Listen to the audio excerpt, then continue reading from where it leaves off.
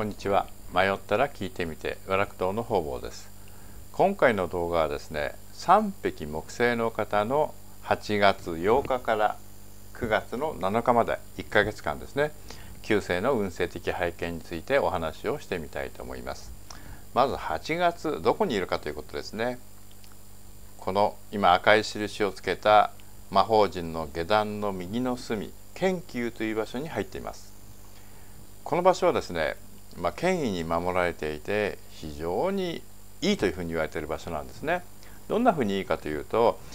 まあ、大きな組織とか自分よりも目上の人そういう方たちからのそういうところからのアドバイスとか関わりを大切にすると非常にいいというふうに言われています。あと非常に位が高くて格調の高い場所ですので、まあ、そういう恩恵を受ける可能性もあります。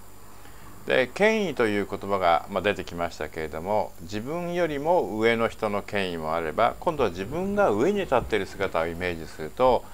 まあ、自分が上の方の権威になるわけですから下のものが出てきます。その下のものに対して心を配るような、まあ、まあ、大事にしてあげるようなことをすればそれもまたいい形になるというふうに言われている場所ですね。ただですね3匹木星の方1年を通じてのあの動きがあまり良くないんですね。あの今青い印をつけますけれども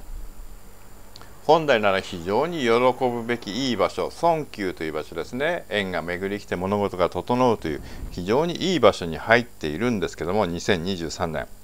そこに案件札というちょっとこう嫌な言葉の台風のようなものですね。自分がちゃんとしているのに自分のまあ他ですね。よそからいろんなものが来るんですね。あちら側から何かぶつかってきたり何か障害物が急にドーンとできてきたりやっぱり乗り越えていかなきゃいけないそれをこうしっかりこなしていかなければいけないような、まあ、そういう影響が来る可能性が高いんですね。だ自分の注意だけではちょっと解決できないようなところがあるのでそれで案件察というのはちょっと嫌がられるところがあるんですけれどもただこういうまあ台風のような悪いエネルギーが来ている時に何に影響を与えるかということを考えると命運というふうに、まあ、よく簡単に言うんですけれども命と運というふうに書きますけれどもその人そのものですねあの、まあ、男性か女性かを含めて誰から生まれてどういうことを学び何を考えて生きてるか強いか弱いかまでいろんなものを含めてその人の命運ですねそれに影響を与えてきますのでその命運がしっかりしているかしっかりしてないかということはとても大きいんですね。普段から真面目に一生懸命生活をし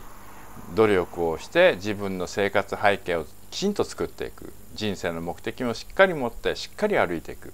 そういう方はおのずと命運もしっかりして太い自分の道ができてきてるわけですね。ですから多少のことが向こうから来たとしてもびくともしないしきちんとこなしていく力を備えているということになります。ただそういう人ばかりではないですよね。あの自分の欲望に負けてしまって怠けてしまう人もいるだろうし遊んでばかりいることもある。で目的もしっかり持つことができずにフラフラすることもあるでしょう。そうすれば当然生活の背景というのは弱くなってやりにくい状況が続いていくわけですからそのなそこに今度はその案件札じゃないけれども悪いエネルギーが寄ってきた時はダメージが大きいんですね。ですから普段のそういう暮らしとか思いとかそういうことがいかに大切かということですね。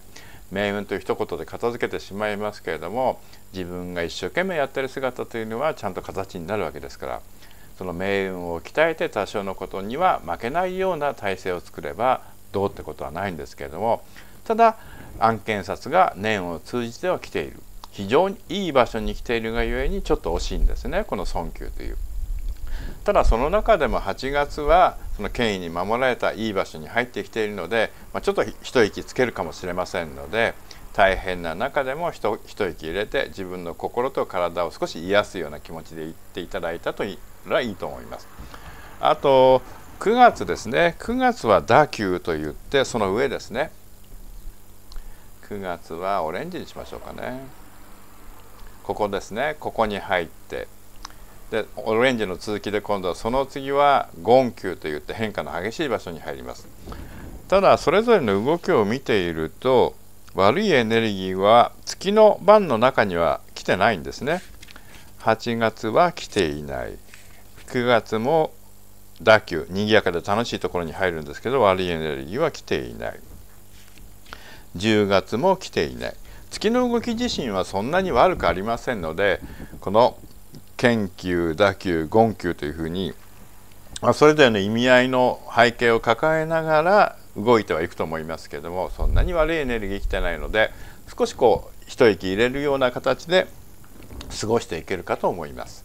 ただ年間を通じてのその案件札が来ているということをちょっと頭の隅に入れといてそれの対応対策を考えながら月々の動きをちょっと取り入れていくようなそんな形で動いていくのが一番いいんじゃないかなというふうに思います。まあ、ちょっと大変な時もあるんですけれども必ず巡ってくることですのでその命運を鍛えてしっかりとそういうものに向かっていけるようなまあ、そういう体制づくりがとても大切だということですね。そのための参考にしていただければ非常にあのやりがいがあると思います。そんなところで三匹木星の方の8月のお話は終わりにしたいと思います。